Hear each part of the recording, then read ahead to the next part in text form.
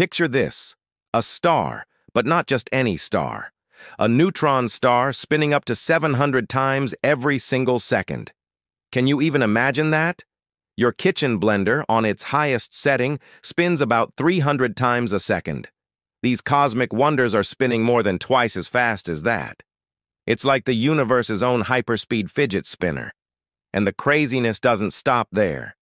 These stars are so incredibly dense that just one teaspoon of their material would weigh a staggering billion tons.